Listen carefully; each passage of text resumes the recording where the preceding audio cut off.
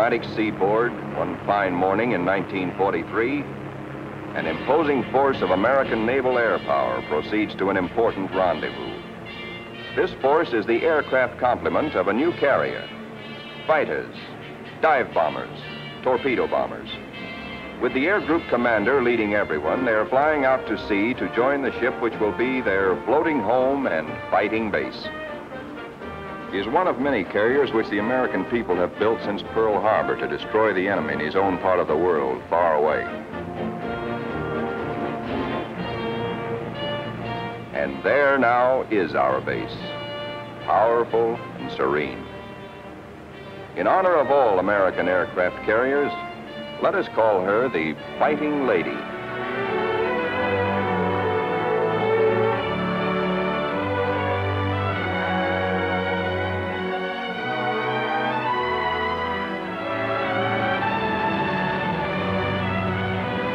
Against a good solid wind with their tail hooks down, our planes come into the broad flight deck of their new home.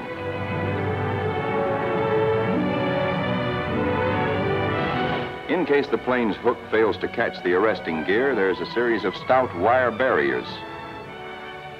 Number one man on the flight deck just now is the LSO, the landing signal officer, always a flyer himself. Like all aviators, he'd much rather be flying.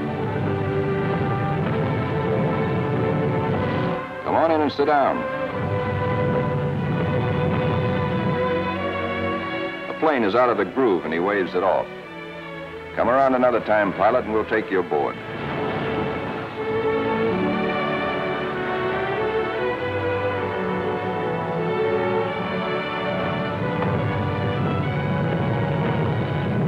When planes land, they taxi quickly forward out of the way.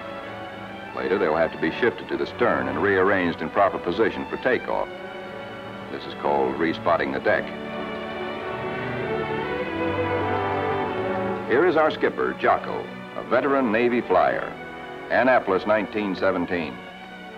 He is not impressed by our earnest efforts, nor the flight deck control officers. The skipper calls all hands together and gives us a piece of his mind. We'll never be ready for combat unless you flight deck crews learn right now to work as a team. Don't you men realize that before long we'll be in dangerous waters? That's too slow. Bear a hand.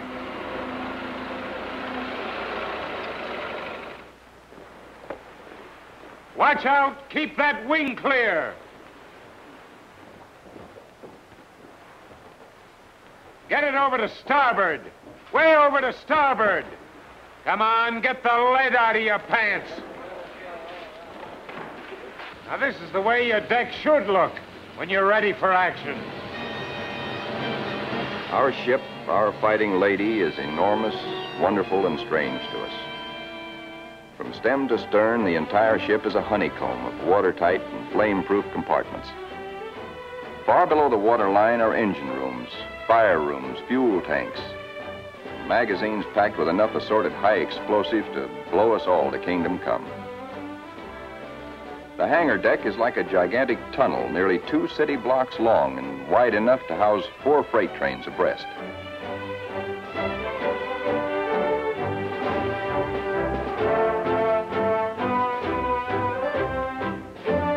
It'll take us a week, a month maybe, to learn our way around.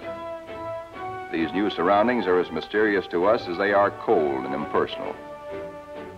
Our fighting lady is like a huge floating cave, noisy and uncomfortable.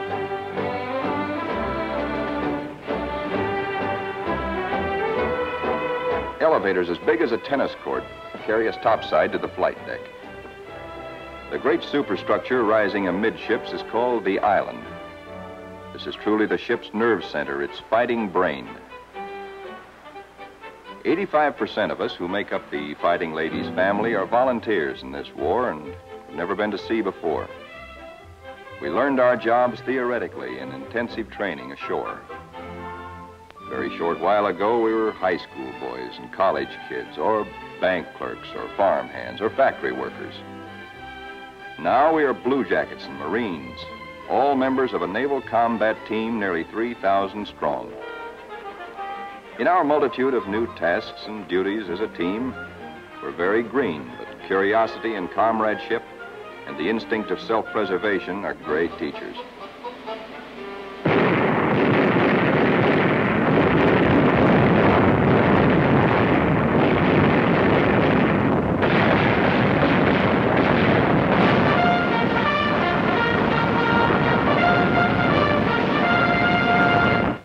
Have to master the delicate and complicated instruments which control the fire of our five-inch batteries. The guns that must defend the fighting lady when enemy dive bombers and torpedo planes attack.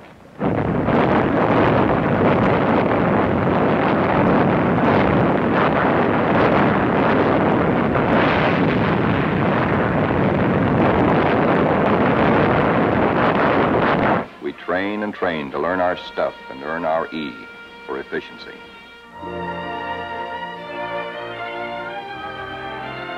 The Fighting Lady's destination is still a closely guarded secret, but no one can hide the fact that we are entering tropical waters. Our ship seems more friendly and comfortable now. And we greenhorns feel that a suntan will at least make us look like fighting sailors. Even our mascot, Scrappy, has been at sea longer than most of us.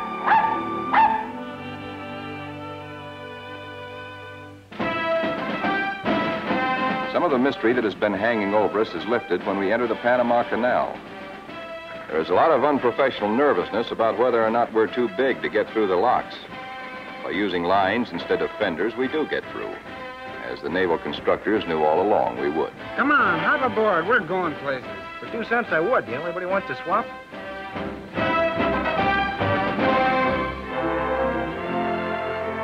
Now we stand out into the Pacific, life aboard settles down into monotony. Here are our aircraft pilots, officers all.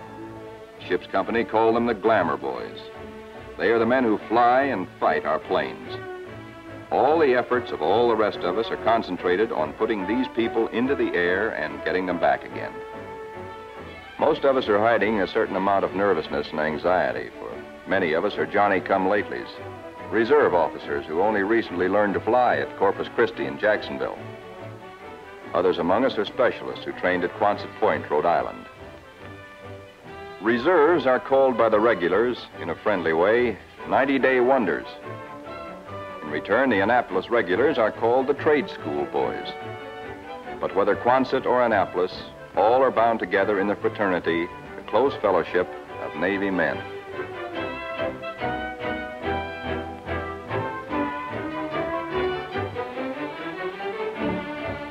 Among the ship's non-commissioned personnel, almost 3,000 blue jackets and 100 Marines, the hottest shots are the air crewmen, aerial gunners, and radio men. These boys and the plane captains are the partners of the glamour boys in the air. By non-flying blue jackets, they are called Zoom pigeons or Airedales. And because they receive 50% extra pay for flying, they are sometimes referred to as the bankroll boys.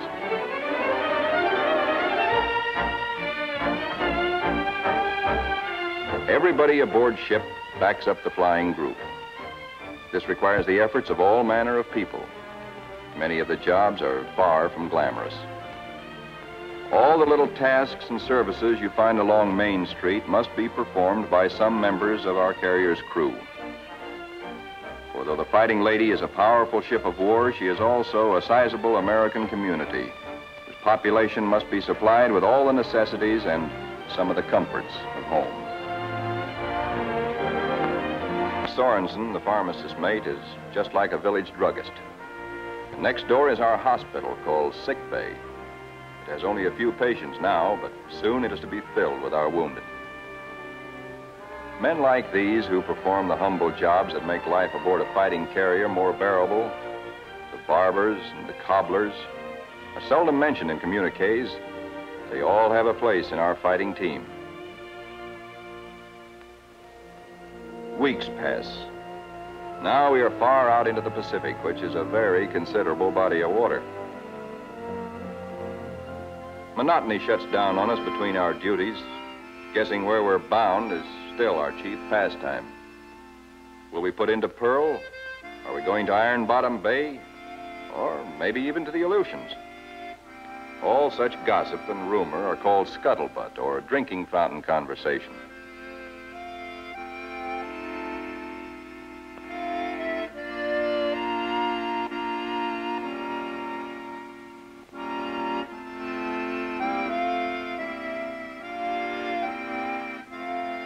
Throughout the ship, men get together in little groups to take refuge from the heavy burden of waiting for something to happen.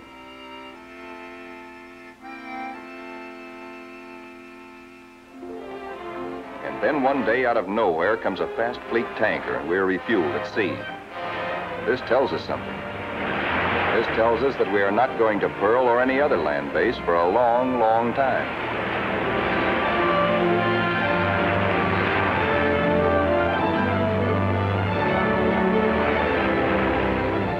Besides our skipper, we have an admiral aboard, a sea dog who's been a naval flyer for nearly 20 years. Until now, only these officers have known where we are to go. But now Jocko, our captain, confers with the air group commander and reveals the plan. The fighting lady has been ordered to make a strike. She will pass through waters where no carrier task force has ventured since the bloody Battle of Midway. Remember, this is 1943, long before we took the Marshall Islands. Weather studies are made, and though this is a daily routine, somehow the whole ship senses that something is about to happen. Even before the news is broadcast to all of us, there's a new tension and atmosphere of expectancy. And then we are told we have traveled more than 7,000 miles from Panama, so that tomorrow August 30th, 1943, we can strike the Jap base at Marcus Island, deep within the enemy's ring of defenses.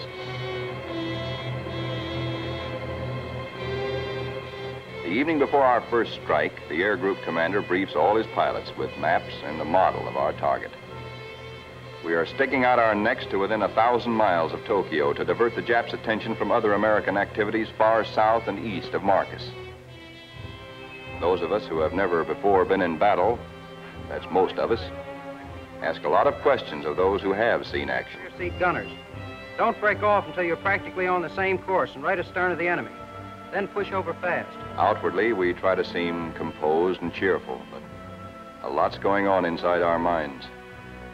We question our most inner selves. What'll it be like? How'll we take it? Will we do all right? This is the night when a lot of boys write one more letter home.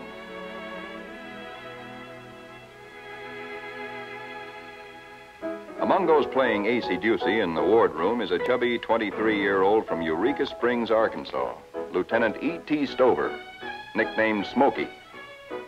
That's he sitting on the far right. Having flown 50 missions at Guadalcanal, Smokey has been ordered to take a rest. He'd much rather be flying.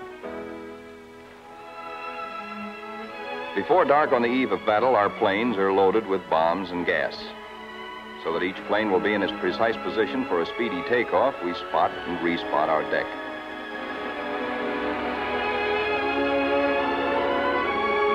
Now all is perfect. We will strike at dawn. And now GQ, General Quarters.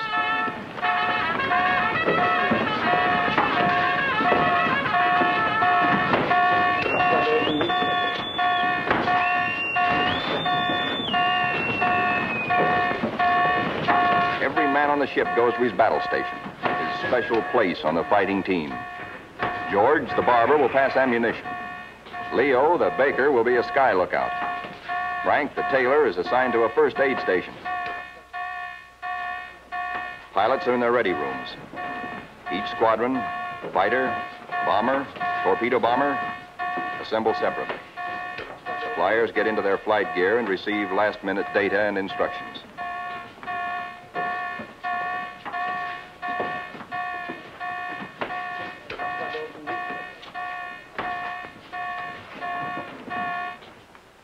The flight deck, our first battle dawn awaits us.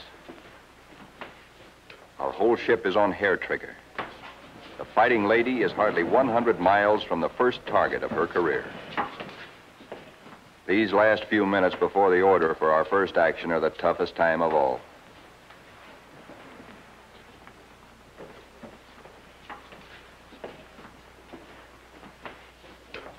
A wise man once said, war is mostly waiting. We learn now what that can mean. At last the word comes. Pilots, man your planes. Ready room three, Roger. Pilots, man your planes.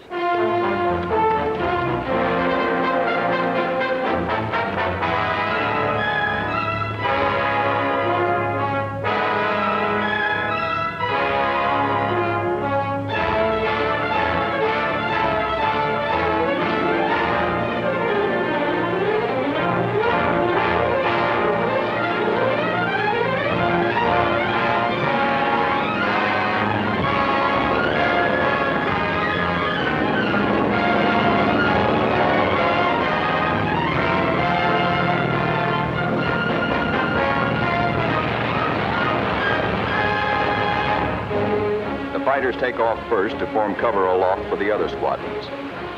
Then the bombers, heavy laden with destruction.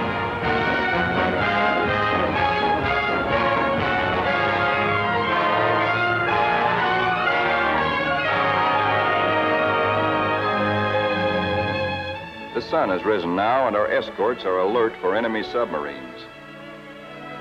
But the Fighting Lady steams boldly toward our target to lessen the distance for our planes when they return.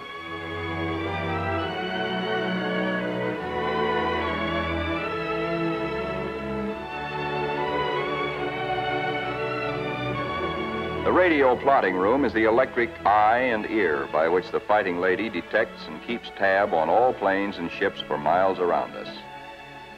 Smokey, the fighting ace from Arkansas, has been put in charge of this room for our big day. Hunched among his assistants, Smokey is like a super quarterback on a super football team. He is in constant touch with our entire air group.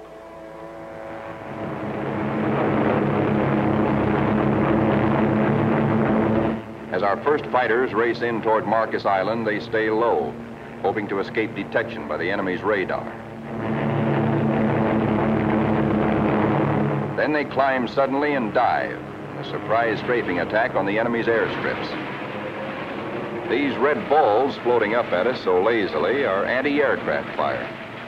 There is three times as much of it coming up at us as we can see, because only one shell in three is a tracer. What look like fiery polywogs are tracers from our own wing guns. The Ack is much heavier than expected, but through it we go to knock out enemy bombers on the ground. All through these battle pictures, realize that we are looking straight down our own gun barrels. These pictures are taken automatically by the same mechanism that operates the guns. Pictures even shake with the gun's recoil. Our eye is now the very eye of our fighting airplane.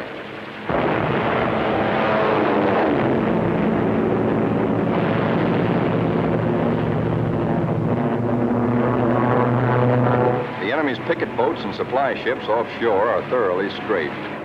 No longer will these craft bring rice and sake and munitions to Marcus.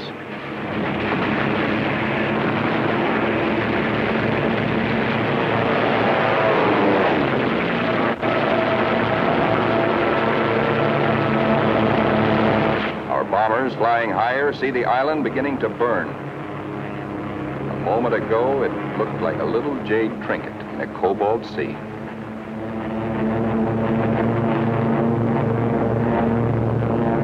As the fighters and bombers swing victoriously away from Marcus Island, towering columns of smoke show the thorough job our boys have done.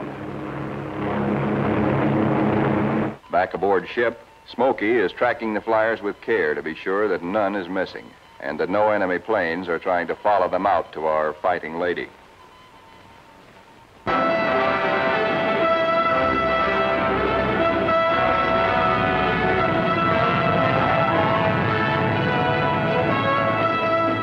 As our planes come aboard, there begins an operation almost as exciting as the attack itself.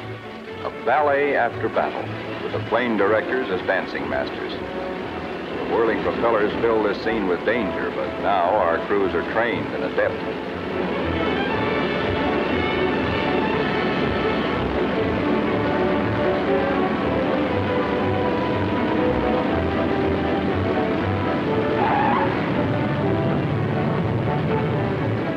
The landing signal officer performs an eloquent adagio on the fighting lady's stern. Warning to the rest of the cast to stay off stage until a limping member can be led out of the way.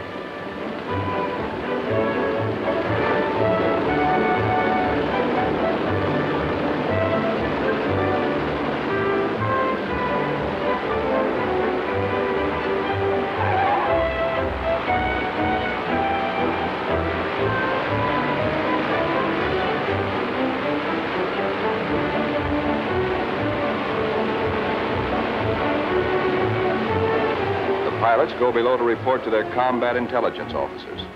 They have hot news, good news. They tell what they saw and did, how many rounds of ammunition they fired, how many bombs they dropped, what they hit, what they noticed at the target that was new and different or that may need hitting again. As the reports are added up and our combat photographers develop their pictures, the story becomes better and better. Every single Jap bomber on Marcus has been destroyed. 80% of the shore installations blasted or set afire. Hangars, radio stations, gas dumps, ammunition dumps. Marcus is now a lovely mess. In the radio plot, Smokey's worried. There are planes still up there, and he's wondering about them. They are ours, though, delayed by battle damage. Landing a shot-up plane on the carrier is a crucial test of how well-trained, how alert and steady a naval flyer is.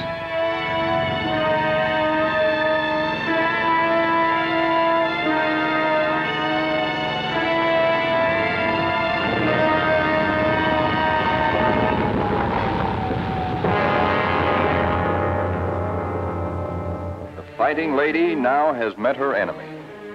In the wardroom, the pilots who this morning felt new and nervous now talk like veterans. We have been baptized by fire and have survived nicely. We of the fighting lady are growing up.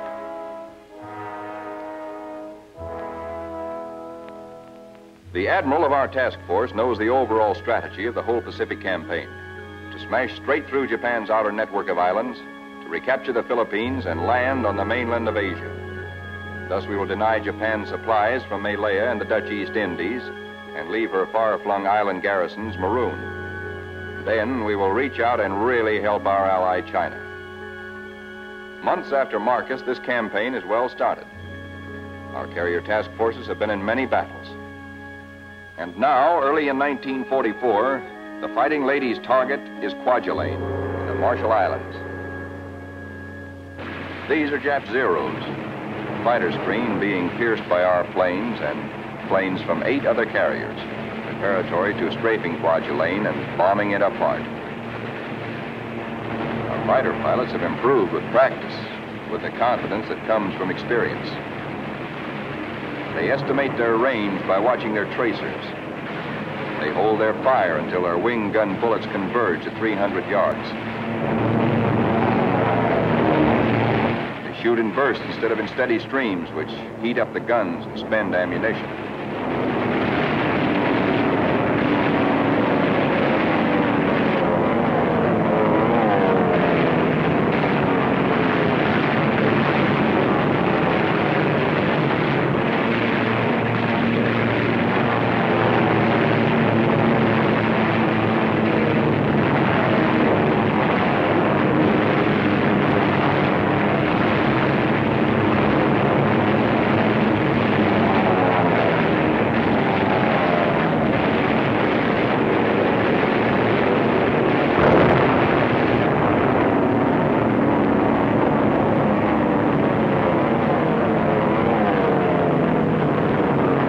We soon have Kwajalein burning very satisfactorily.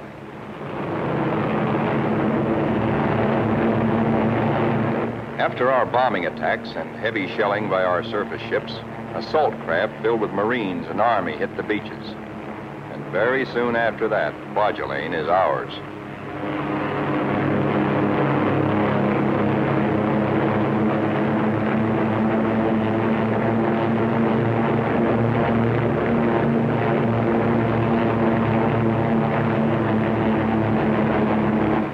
Right after Kwajalein, word comes to our admiral that at Truk, Japan's huge and secret naval fortress 1,400 miles to the west, there apparently are some heavy units of the Japanese battle fleet. Perhaps we can surprise them. Again, the Fighting Ladies Squadron and squadrons from other carriers take off for combat. A lot of mouths are dry at the thought that our target is mighty Truk. The rear seat gunners look back at the Fighting Lady, wondering when and if they will ever return to her.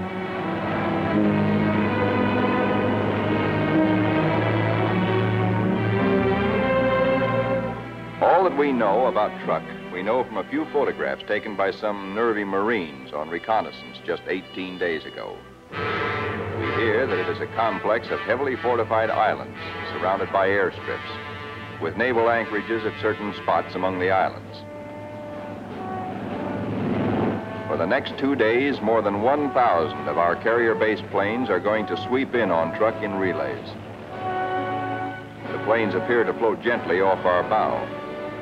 Actually, their airspeed is a good 70 knots.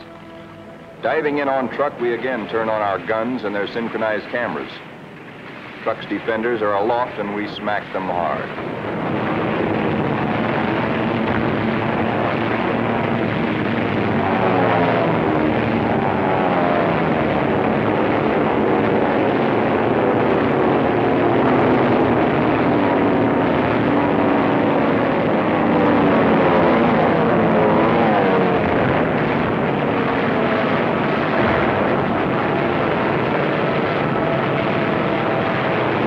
The hearts that were in before this strike began now settle back into place and are singing once more.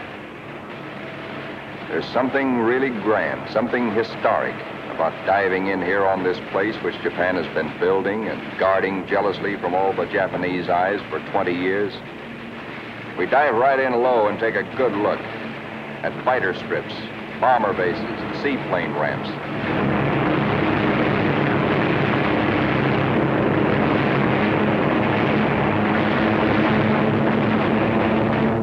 An almost vertical dive, the pilot may black out or go blind for a moment when he pulls up and out at the bottom. But the camera won't black out. It cannot see the landing of our own bomb, for we'll be up and away before that reaches the target. But it records the hits of other planes ahead of us.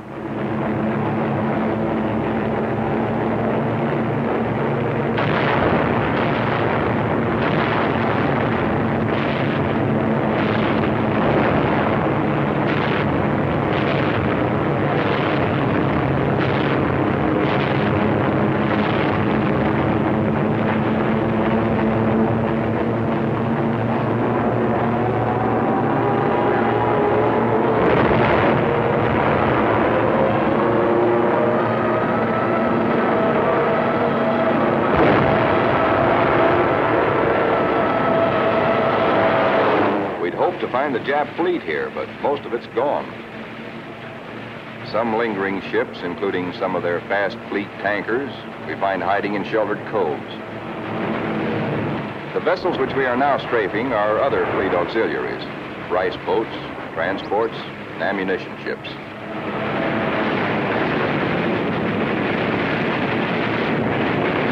With bursts of 50 caliber incendiaries and armor piercing slugs, we set them on fire, rip them open, often wide enough to sink.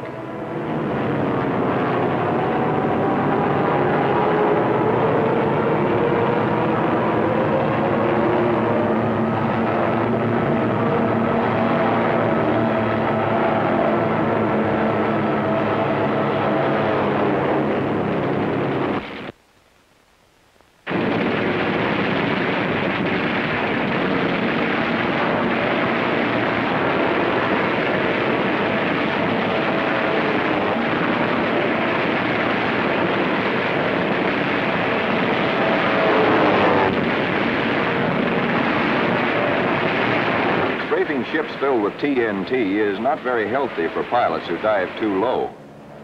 But it's hard to tell who's carrying what until the big bang comes.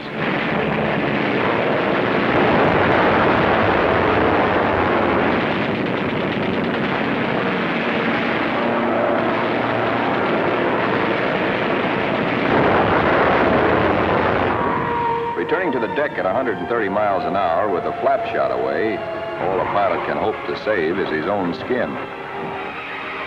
Here comes our new air group commander. He's had a bit of trouble.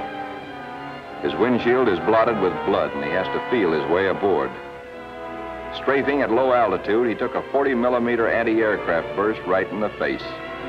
More than 200 wounds, and his plane a sieve. But he'll live to fly again. Some planes will not return, but others come back and land somehow, anyhow. Considering the toughness of Truk, our losses are astonishingly light. No time is lost getting casualties below.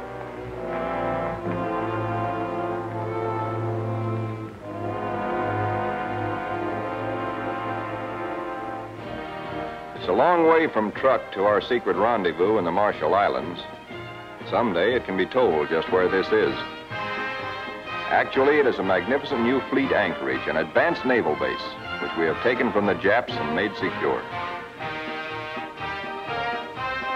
Now, for the first time, we, who have been operating as separate, relatively small task forces, see assembled the enormous mass of naval power.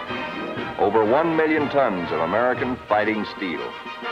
New carriers, new battleships, new cruisers and fleet auxiliaries in an amount which Japan could never conceive, let alone produce.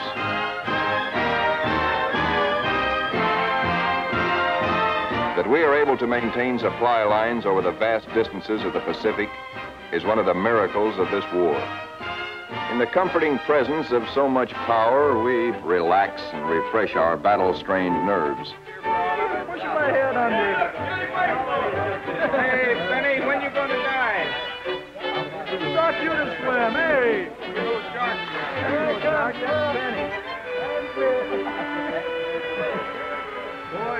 Our ship's post office now does really big business. Letters for us at last from home. Letters from us to friends and families. Our censors know our collective mood, our central hopes and thoughts. The stuff is really getting out here now. I can't tell you much about it, but oh boy. And the more we get, well, the sooner I'll be seeing you. All hands are called together. Our old skipper, Jocko, has been promoted admiral. Our new one's name is Dixie. Men, as soon as I finish talking, we are getting underway. Our fighting lady is now part of what is designated Task Force 58. As you know, our final destination is a place called Tokyo. We'll have to fight hard to get there, but when we drop our hook at Yokohama, I'm going to throw a party. All hands are cordially invited.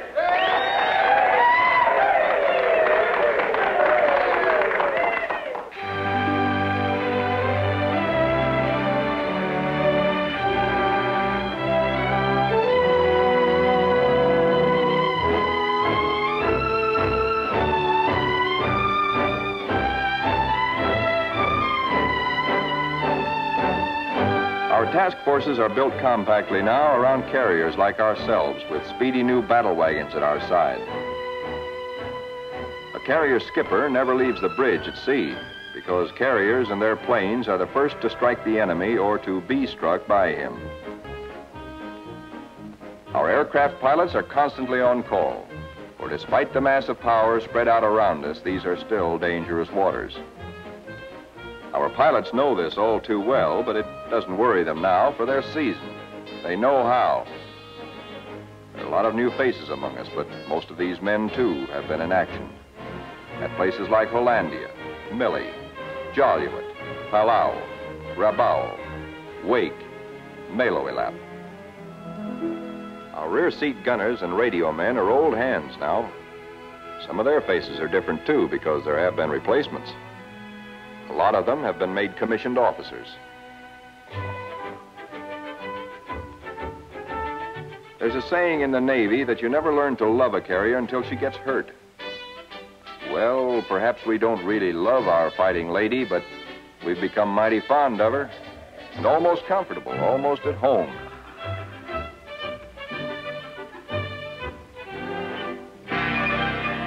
Occasionally, our shipboard movies bring us that one thing we crave the most, one touch of something utterly American, one deep breath of home.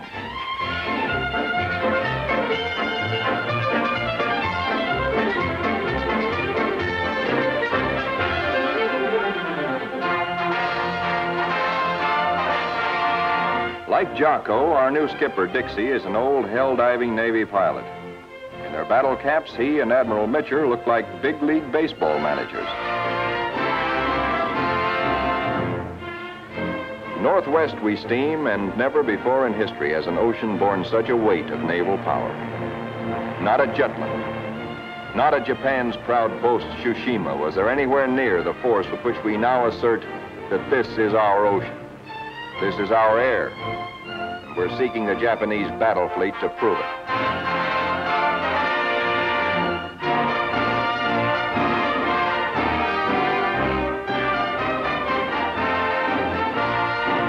With our cruisers and our biggest new battle wagons present, we are strong enough to hope, really to hope, that we may provoke the Japanese fleet into accepting a fight.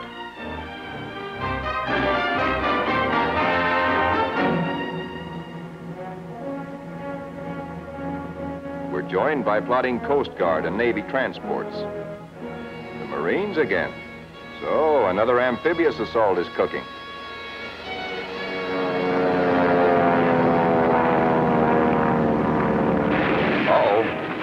Patrols have spotted an enemy search plane and are after her. She's a big bird. A 20-ton, four-motored Kawanishi seaplane, the kind we call Emily's.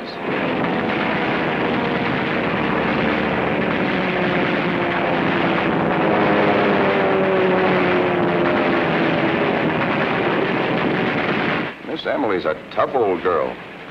Right now, she's screaming for help and telling Tokyo by radio where we are. Hellcats are closing in on her.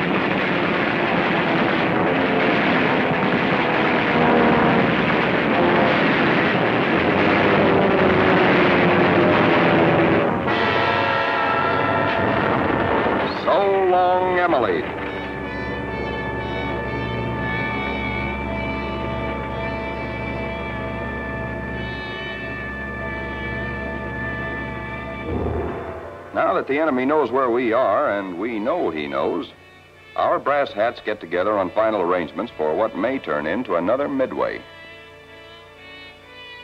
Our objective, first of many in our drive through to the Philippines and China, will be the Marianas. In battles just ahead of us, we are to make good use of a multitude of weapons, special devices, and techniques which have been evolved through the 30 years since the U.S. Navy first took to the air.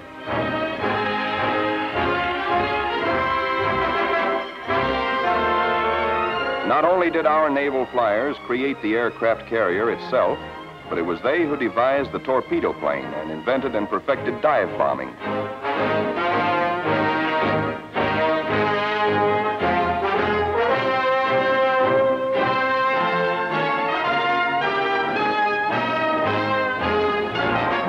Disposed about our flight decks so that planes can be quickly armed are all manner of death-dealing objects. 500, 1,000, and 2,000 pound bombs. We have torpedoes and incendiaries, and a kind of anti-personnel bombs we call daisy cutters.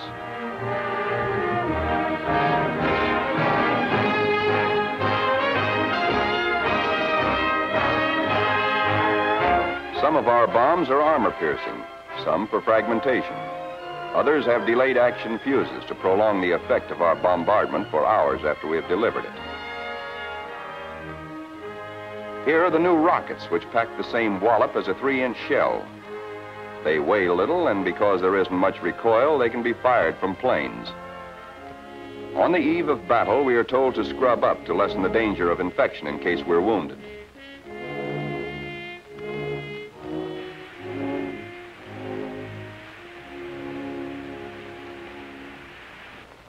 As our bodies, most of us prepare our souls.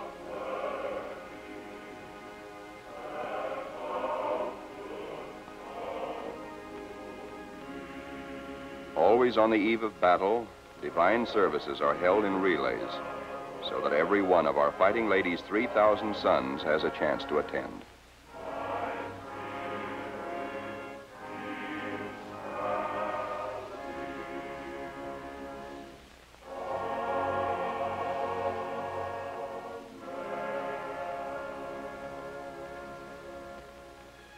As the eve before battle lengthens, there is the usual waiting. Again, we're reminded that war is mostly waiting.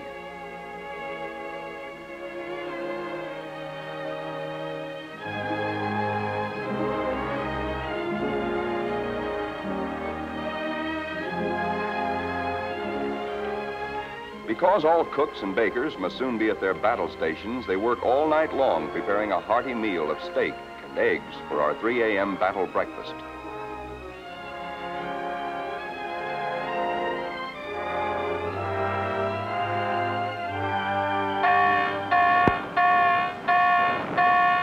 We are being attacked.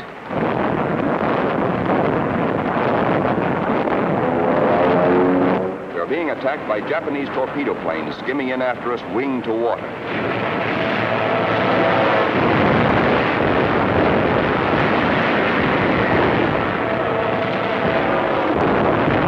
All they want is one hit on our flight deck. We have nearly 90 planes fueled and loaded with bombs, ready for the takeoff.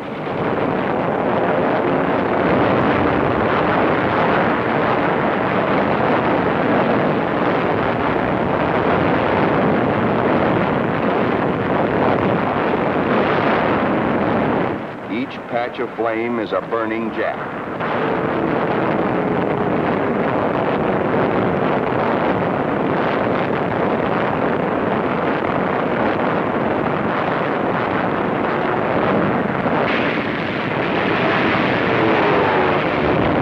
In this attack, 19 Japs are polished off by our ship's batteries. Not a single carrier is hit. We have been fortunate. So now commences another major moment in the fighting lady's career. Flight quarters sounds. In this modern warfare, the young plane captains are to their pilots what squires were to armored knights of old. In this operation, typical of many more to come, a lot of other fighting ladies will be involved. And nearly 2,000 carrier-based planes, all of them attacking in air groups like our own.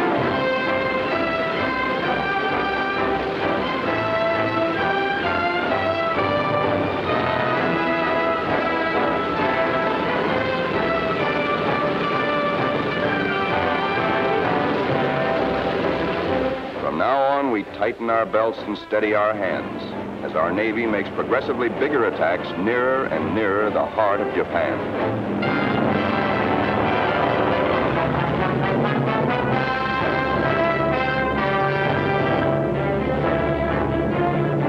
At his post and radio plot, tracking down enemy planes and cursing the luck that keeps him out of the air, Smokey chafes at being grounded on a day like this especially when targets are juicy ones. All the Jap air bases and military installations in the Marianas, and a special prize package, Guam, the island which we did not fortify, but the Japs did. Now comes word that the Japs have sent strong air reinforcements to Tinian, which flanks Guam.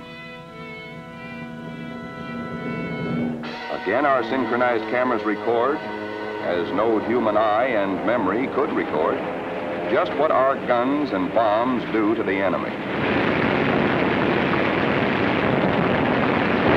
These pictures enable our air combat intelligence officers to assess the damage as we swoop down upon Tinian.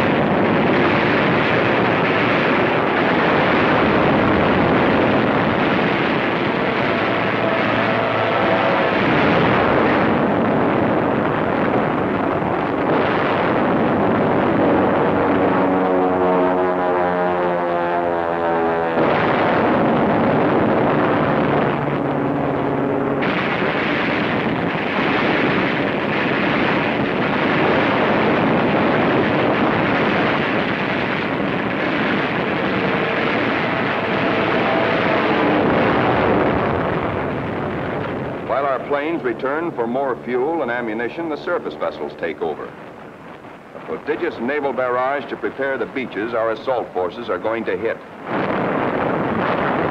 Not only our newest, but some of our oldest and proudest battleships are here.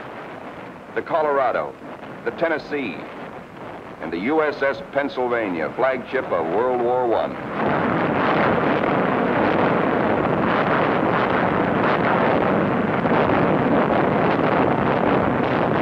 Winging home to the Fighting Lady, several of our planes, crippled, make a game attempt to land. Now is when the landing signal officer must judge not only the speed, but estimate the battle damage of planes like these.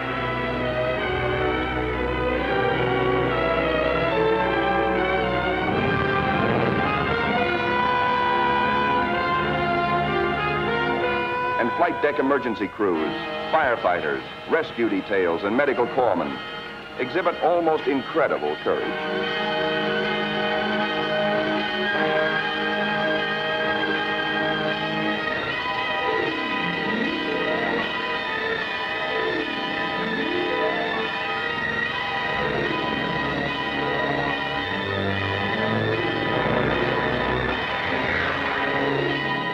Of a torpedo plane has been unable to release his load of incendiaries.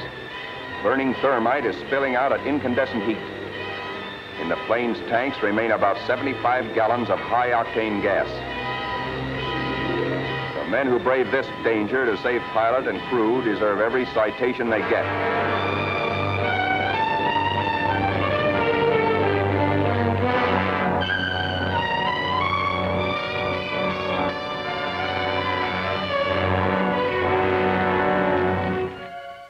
Ready rooms, intelligence officers question battle-weary pilots. What did you see? Any Jap carriers in sight? Are you sure they were carrier-based planes? Then from radio plot comes uncomfortable news. Torpedo planes and dive bombers from enemy aircraft carriers are approaching. All hands, man your battle stations.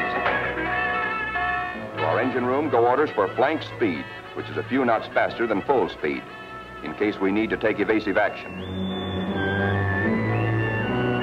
All boilers are lighted to let the fighting lady outdo herself if necessary. The engine room people turn on the heat, and the propeller shafts churn like fate in their alleys.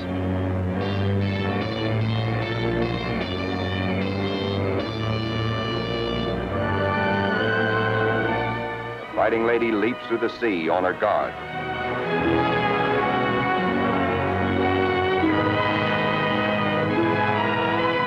Skipper Dixie gears himself for action, and so does wise old Scrappy.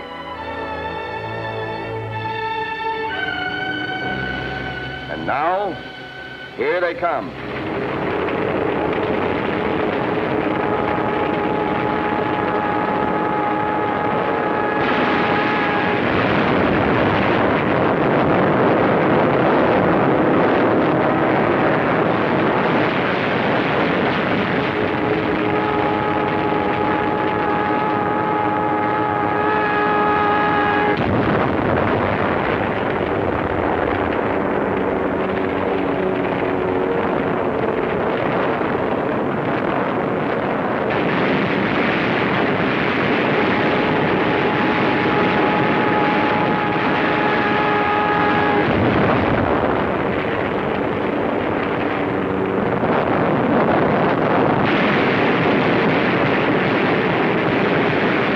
A Jap Jill torpedo bomber miraculously keeps coming through our wall of black.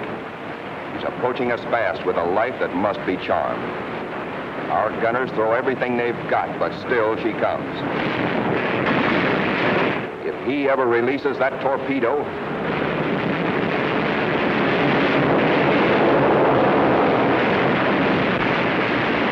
she missed us. Either the pilot was already dead or his release gear jammed. The pride of Arkansas, hears about that one. He almost takes off. Now our reconnaissance has spotted the Japanese task forces. This is the moment we've been fighting and praying for. Every plane that can fly and every qualified pilot is ordered into the air. At last, Smokey gets his chance to fly again. Pilots, man your planes. Pilots, man your planes.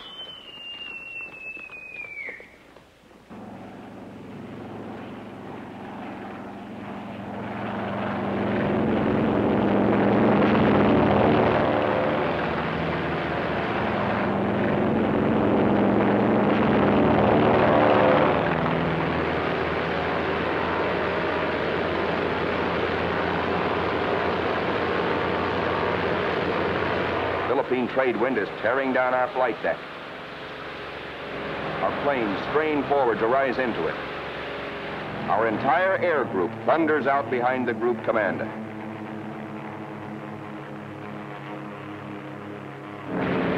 Now our fighters run into a swarm of Jap fighters, mostly Zeros, sent up to intercept our attack on the Japanese fleet. A mad aerial scramble begins, which the boys to this day still call the Marianas Turkey Shoot. 369 Jap planes are shot down in this single day, to our loss of 22. Japanese plane makers have sacrificed strength and firepower for agility. Their planes disintegrate quickly when you hit them. They have no armor plate, as ours have, nor are their gas tanks self-sealing.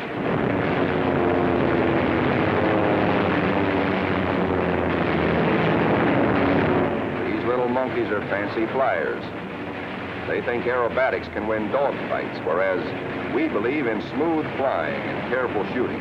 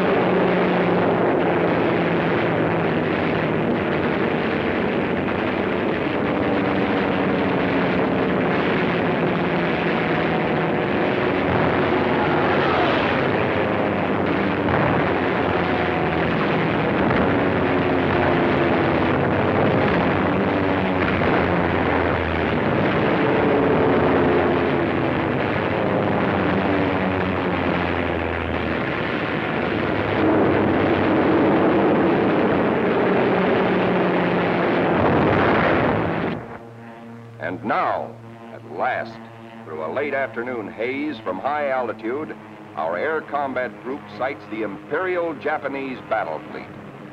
These are the first pictures ever taken of a great enemy naval formation like this.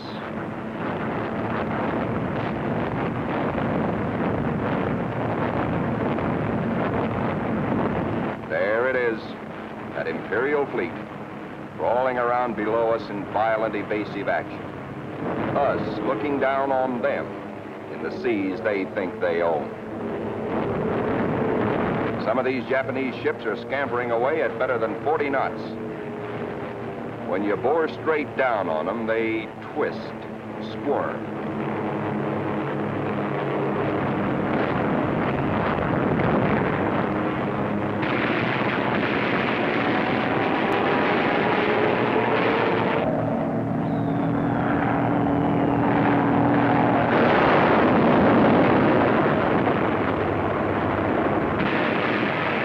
We engage a big destroyer hoping to shoot out his bridge. And he shoots back plenty.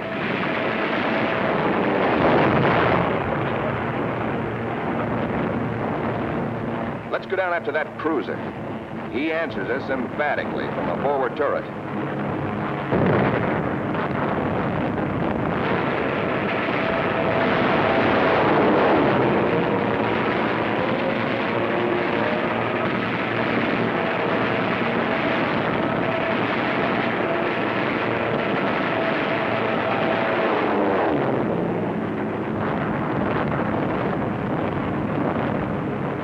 Now a 25,000-ton Jap carrier of the Hayataka class is going to get it. Watch 5 o'clock in the camera, the lower right-hand corner of the screen. This big flat top gets it where the turkey got the axe.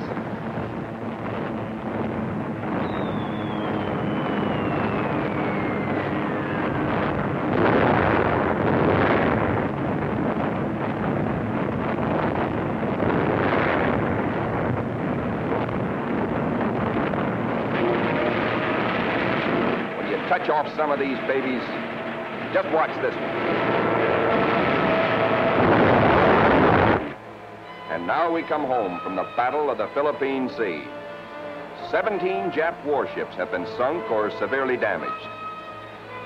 Several of our returning planes have been badly shot up.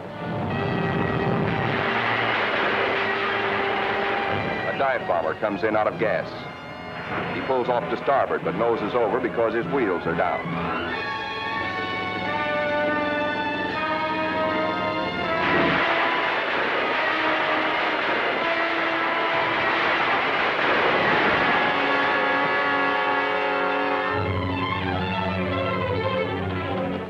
Pilot has 73 holes in his plane, and his leg almost shot away.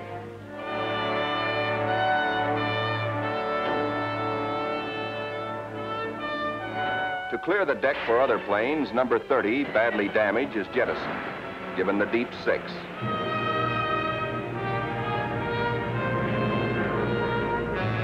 Watch carefully. This man's controls are all but shot away.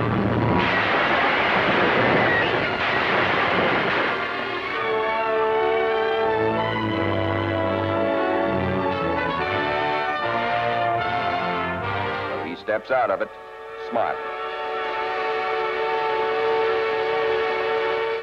And now it is time to paint up the scores. On this fine morning, just a year after being commissioned, the Fighting Lady is beginning to look like a stamp album. She has done her share, amassing Task Force 58's grand total of 757 Jap aircraft destroyed in a two-week turkey shoot.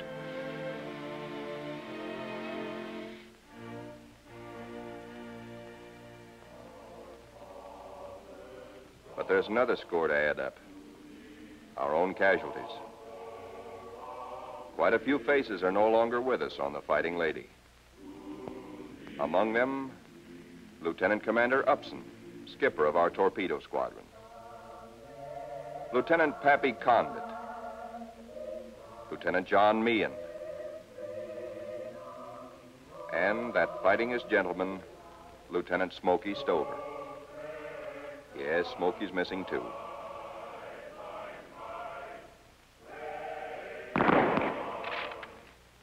Salute them under their country's flag. For they were brave. They were gallant. Others will come forward to take their places. For the battles we have fought on the seas and in the sky are only the beginning. Still hungry for battle will steam our carrier, serene, powerful, unafraid. She and her planes will come home again someday, God grant, but not until the bitter, glorious end. For she is, and we salute her, the Fighting Lady.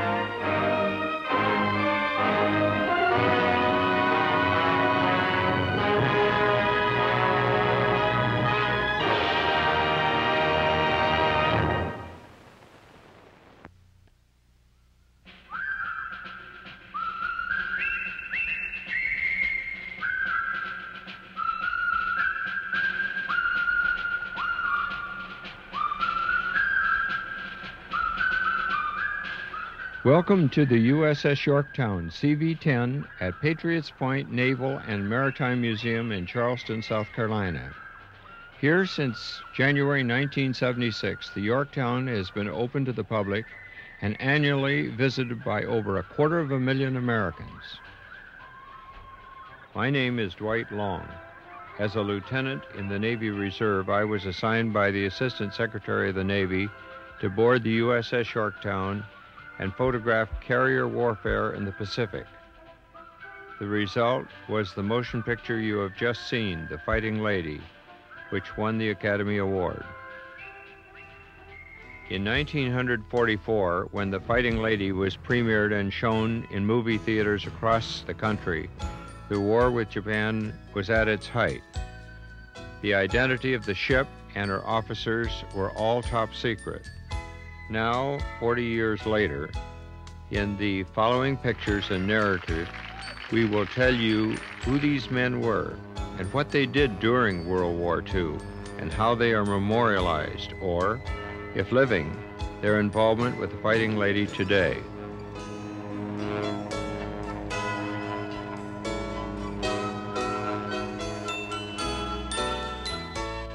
The fighting man from Arkansas, Lieutenant Smoky Stover, was never heard from again after his wingman saw him in his life raft off the entrance to Truk Harbor. He was probably executed that night, along with 10 pilots from other carriers who were shot down during the first strike on Japan's Pearl Harbor.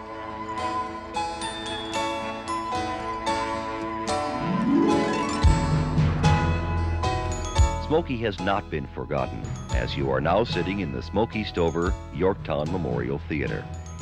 As you leave, you will see at the front of the theater Smoky's plaque, along with over 200 plaques memorializing and honoring his Yorktown shipmates.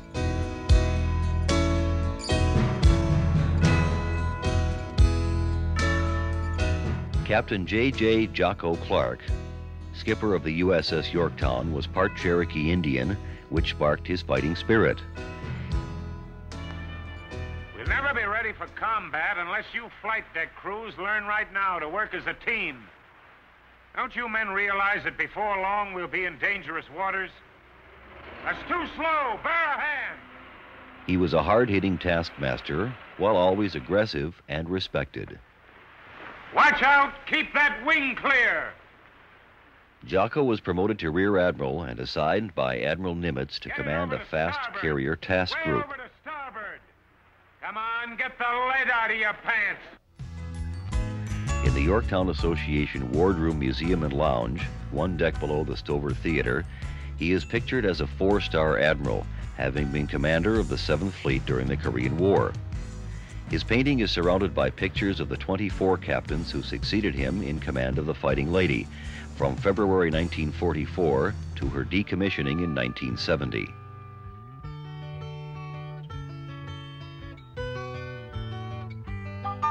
Vice Admiral Mark Mitscher, who, as commander of the famous Task Force 58, January 1944 through August 1945, led our fast carriers to victory over Japan.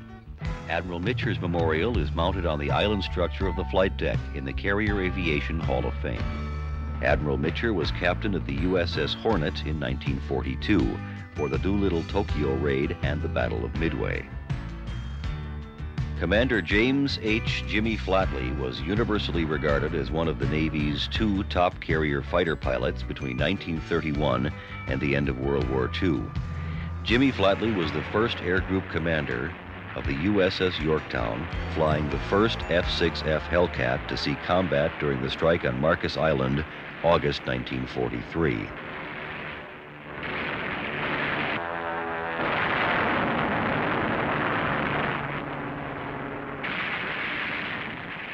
After World War II, Commander Flatley was eventually promoted to Vice Admiral and was in command of all naval aviation when he tragically died prematurely in 1958. He too is now memorialized on the Yorktown in the Carrier Aviation Hall of Fame. Jim Flatley's number 00 Hellcat is now proudly displayed on the hangar deck. In addition to his many contributions to carrier aviation during his lifetime, Vice Admiral Jimmy Flatley left a heritage that is very likely to be his greatest legacy second and third generation fighter pilots and leaders. His son, Rear Admiral James H. Jim Flatley, is the present Navy's most experienced fighter pilot. He holds the record for making 1,600 carrier landings, the most in the 60 year history of U.S. carrier aviation, and made 350 combat missions during three separate deployments in the Vietnam War. He is currently serving as director of the Navy's Strike and Amphibious Forces at the Pentagon. His son, Lieutenant J.G. James H. Seamus Flatley, was president of his senior class at the Naval Academy. He has successfully completed jet carrier qualification aboard the Enterprise. This will give the Jimmy Flatley family an unprecedented three generations of carrier fighter pilots. This amazing heritage can be very conceivably extended to a fourth generation as the result of the birth of James H. Jimmy Flatley IV, This royal family of naval aviation is planning on his going to Pensacola for fighter pilot training in the year 2007.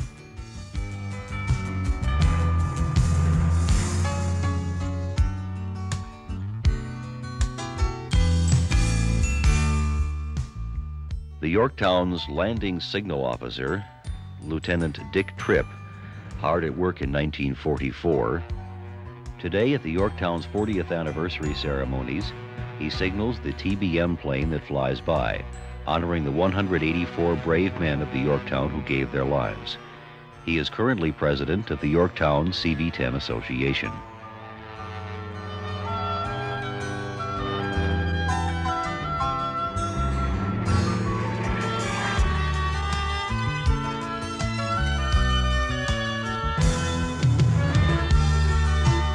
Just as he conducted the burial at sea ceremonies on the deck of the Fighting Lady, our chaplain, Reverend Bob Alexander, presides over the 40th anniversary commemorating those brave men who gave their lives for American freedom. Reverend Alexander was the Yorktown's first Protestant chaplain. He has conducted the annual memorial services on the Fighting Lady since 1975. Of the three other lost pilots named and pictured at the end of the film, one, Lieutenant Pop Condit, was unexpectedly found very much alive at the end of the war in a POW camp in a railroad yard in downtown Tokyo. Pop and his two air crewmen were shot down during the Yorktown's very first engagement, the strike against Marcus Island in 1943. After having to ditch their crippled Avenger torpedo bomber approximately 50 miles off the coast of Marcus and floating around in their life raft for several days, they were lucky to be spotted and picked up by a Japanese fishing boat. Pop Condit was selected because of his outstanding leadership and example in several prison camps to represent naval aviation's POWs at the signing of the Japanese surrender aboard the USS Missouri in 1945. Subsequently, he made the Navy a career and retired as a Rear Admiral. Currently, he is chairman of the board of the Yorktown CV-10 Association and is standing in front of a TBM Avenger. This plane was purchased and restored by Rear Admiral Condit and the other surviving pilots and air crewmen of Torpedo Bomber Squadrons 5 and 1 in memory of their squadron mates who did not come back.